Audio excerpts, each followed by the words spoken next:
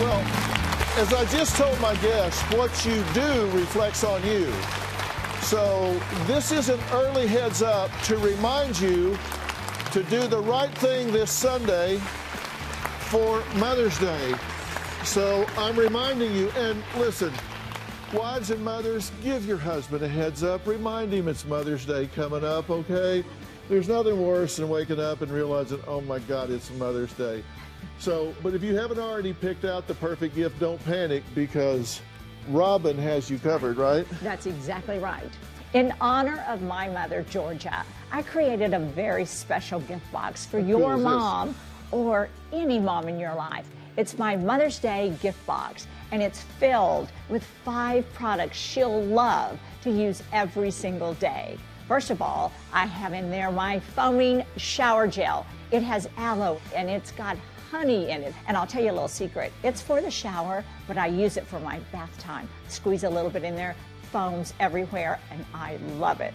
Secondly, the hydrating body butter hydrates your entire skin with shea butter, oils, all different oils. Most importantly is the moisturizing hand cream. It's got that mango butter in it and it absorbs so quickly, softens the hands, and we have to remember one of the first signs of aging is a woman's hands. And it's perfect size to carry with you at all times. Now, we can't forget the inspiration to this whole collection, the Georgia fragrance.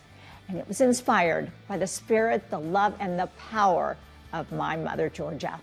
I started with the notes of this fragrance, white rose, because that was my mother's very favorite flower. It has pink freesia, orchid, and many other scents that are just beautiful. I'm certain that my mother would have worn this fragrance every day, just So like I do. She was working on this for like months. Yes. Started with like 400 different Yes. fragrances, got it down to 10, Got it down to 10. and brought them home and put them out there. And she had her favorite. And she had me test them all, and I picked the one. I Yes. said, not even a close call. Yes. Turned it over. It was the one she had chosen. a little star on it. It was the one. So he knew, he knew.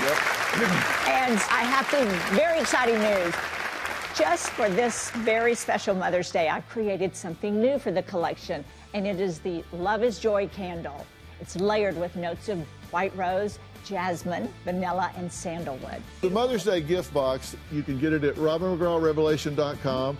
You can order online. It's so easy and convenient. And by the way, you don't have to wait for Mother's Day because everyone in the audience is going home with uh, all five Mother's Day products. And if you want to get in on the action, be in the audience. Go to drphil.com, click Get Tickets. See ya.